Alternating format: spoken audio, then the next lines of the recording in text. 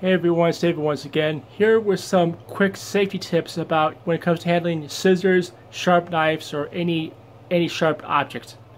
Now, especially when it comes to cooking, when handling a sharp object, you, you, when handling any sharp objects while you're cooking, you want to be extremely careful because um, safety is safety is always first.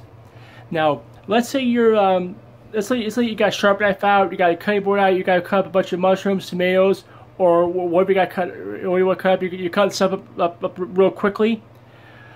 You want to pay attention to where your fingers. You want to make sure your finger is a like make sure you're like you know it's like you know close to where you, you, you can get the cutting done, but you don't want to have your fingers too close to the blade because let's let's say if you're chopping real fast, you got to pay attention to which, which your finger is. You're going to end up injuring your finger.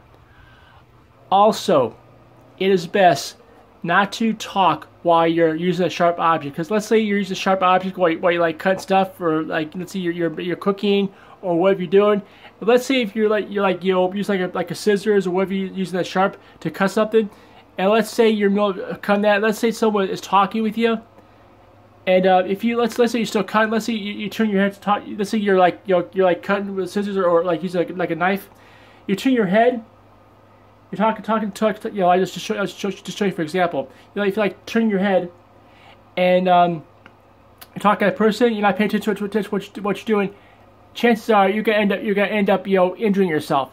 So, if you're gonna have a conversation while having while handling sharp object, put the sharp object down, have have your conversation, and then go back to what you're doing because safety is very important when it comes to any knives, scissors, sharp objects for cooking or whatever you're doing. And with that, this is David. Thank you for watching, and we'll talk soon.